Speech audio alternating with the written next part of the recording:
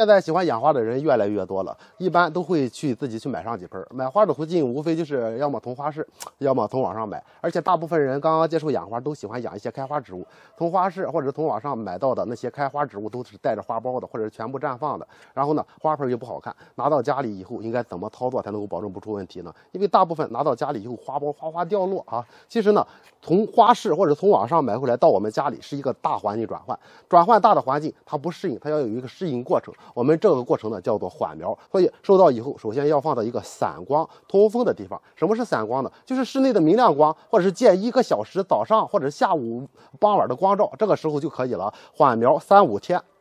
缓苗期间呢，要看看土壤，土壤干了，及时的给它浇一次透水，让它的根跟土壤充分的结合，也可以叫做定根水。浇透水，不要去换盆，缓苗三五天，看着状态好了。如果说，哎，您的植株是一个绿植，没有带花苞的话，那么这个情况下，我们就可以给它换盆了。如果说它带着满头花苞，或者是带着满头花，这个时候如果您再去换盆，换到新的花盆里，把旧的花盆去掉，必然会伤根，而且换到新的花盆里，容易出现闷根的情况，它的花苞就会哗哗的掉落，花就会出现掉落的情况。这个时候。我们可以去不换盆，但是用旧的花盆会非常难看。怎么才能够变好看呢？很简单，我们可以采用这个方法啊，也就是所谓的假植。我们首先呢，要找一个比原来的花盆大一点的花盆，找个花盆以后呢，直接在里边加上土壤。我们可以加一些颗粒啊，比如火山岩、红彩石、煤渣都可以，也可以加一些透气性好的土壤，在底部加上一层，然后呢，将整个花盆放到里边去。这样呢，底浇水的时候，底下的土壤是湿的，底下有湿气，哎，而且呢，整个土壤也湿了，它在这个花盆里不影响美观，而且。且没有换盆不伤根，它就能够正常的生长，正常的开花。等它开完花以后，我们再去给它换盆就可以了。当然，如果说哎你想在四周填上一些土壤也是可以的，但是花盆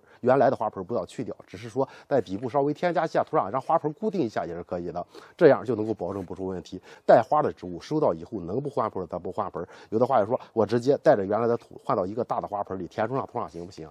嗯，这样去弄的话，有很多植物是不合适的，因为它本身在一个花盆里根系长满了，四周再填充上土壤，带着花一直在消耗养分，它的根系活性又差，很容易出现烂根闷根的情况。所以想要换盆的时候，最好是等它开完花，修剪一下枝条，把四周的土壤去掉三分之一左右，再去换到跟原来的花盆差不多大的花盆里边，直接再去缓苗，成活了以后就会进入生长阶段啊。呃，其实买花。最简单的过程就是买到先去缓苗，首先给它浇透水，放到散光通风的地方缓苗，缓苗完了再去多见光，之后呢再去给它换到新的花盆里啊。对于开花植物，小七说的方法就可以去试一下啊，这既漂亮又能够把花彻底的开起来。学会了吗？学会了，别忘了给小七点个赞，点关注再走。